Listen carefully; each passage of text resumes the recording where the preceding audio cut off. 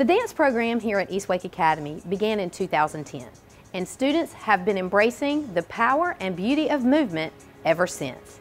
I'm your host, Jennifer Edens, and this is Spotlight on Schools.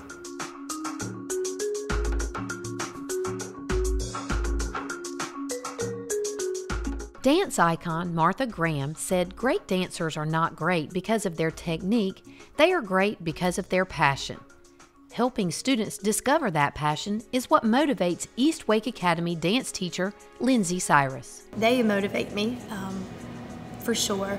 Just their excitement, um, watching students learn how to choreograph and create their own work and take it outside of East Wake Academy and take it to competitions, take it to other schools where they showcase it and just watching them be so proud of what they're doing and knowing that I taught them that. I taught them how to choreograph. I taught them those dance skills. That right there is enough um, to motivate me and just to always be my best for them. The dance program has come a long way since its humble beginnings in a room half its current size with linoleum flooring and no mirrors.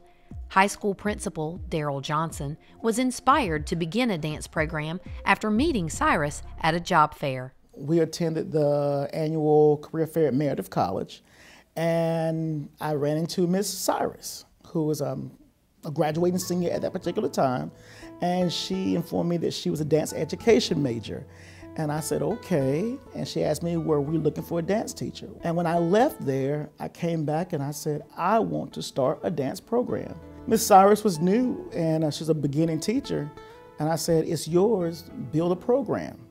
And she has done a fantastic job. She's in her seventh year. I couldn't be more pleased with how this program is taking off. And I'm just excited about what's to come. Senior Gabriella Aroliga is one of only 25 students accepted into the ECU Dance Performance Major program for next year. She credits dance with motivating her to do her best in school. It's had an impact in my life because I used to not like coming to school, but ever since I found out that the high school here has a dance department, it's kind of made my day. It's made me want to get out of bed every morning. It's it's just something to look forward to every day. I would definitely say my most my main focus would be allowing them to have a place to come to so that they can express themselves and it can be their outlet for the day. I plan to own my own studio. Um, I'm going to double major in dance, performance, and exercise physiology so I can be a physical therapist assistant and save up that money up to own my own studio later on in life. The program doesn't only benefit future dance majors, it allows all students to discover their own inner strength, and it prepares them for the future, no matter what that future holds. Dance lets me be more myself, and it lets me be myself in the dance room, and I don't have to be someone that I'm not. I can do what I want to do and be happy about it. Well, my future plans is to go to college at um, Western Carolina University which because I want to be a forensic scientist, but they also have a really great dance program, and that's what I want to do because I can be forensic scientist and I can dance on my free time. Before high school, dance wasn't really a part of my life. It was actually an accident that I got put in dance. I was supposed to get put in theater, but they ran out of room, so they put me in dance. And I'm really glad that they did because honestly, it definitely helped create me to be the person that I am today. So I don't think that I could go through college without taking dance. I might take it as an elective or as like a PE class because it's definitely something that I don't think I'll be able to give up, especially after it being the thing that made me who I am. It teaches them leadership skills. I have students that have to teach classes. They have independent studies with me where they learn, um, they have to have their own responsibilities, not only to themselves, not just personal responsibilities, but responsibilities to their teammates, to their classmates, um, going home, practicing, that is all on their own. And they have to do that and come and then put it into a performance. So those are things that I think you take with you. Um, you work in groups with everyone. Everyone in my class is, by the time you finish, you've worked with every single person in that class. And not every person do you work well with, but you have to learn how to do that and how to give me a good presentation in any group that I put you in. And that's something I think that you're going to take with you throughout life. So I would definitely say just leadership skills, responsibility, teamwork, all that. And teamwork seems to be the best lesson of all. I look forward to being able to actually embrace myself while I'm dancing with everybody else. Like, so it's not just me as a spotlight, I can show what I can do along with everybody else.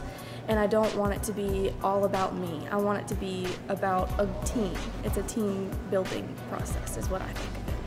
Can we make it more as though someone's like grabbing your arms and lifting them up?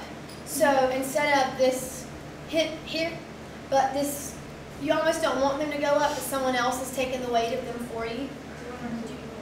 I think that it's cool because like the ensemble together as a group, we're kind of like a big family. So even like outside of the dance room, it's always good to have like that friend group that you can see and talk to. So whether they are performing for an audience or rehearsing in the school studio, these students are expressing themselves and supporting each other through the art of dance. I honestly, I love performing. I I love practicing and I love learning dances, but once we learn them, I'm just like perform, perform, perform. Because once you perform, it's like you're a completely different character, and I'm not Shayla, the AP chemistry student, or Shayla, the girl on the cheerleading team. Like I'm just a completely different person. I'm in my character, and it's like the it's like you're in the zone, and you don't even realize like how much you're doing until like it's over, and you're like and it's finally done and you're like, I want to do it again.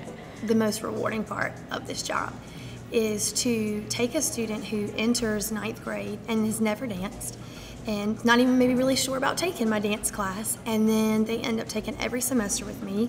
They end up getting on ensemble and then they end up choreographing. Some of them have even gone to school for dance. Um, so just to watch that growth of someone who is a little bit unsure if this is even a class they want to take to now they have this art form that it's theirs. It's their way to express themselves. It's their happy place.